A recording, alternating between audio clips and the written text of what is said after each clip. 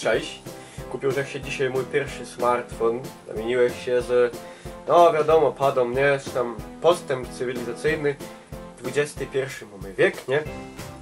Co mnie zainteresowało? Że we Wrebungu padali, że idzie go obsługiwać ze obleconą handszułą.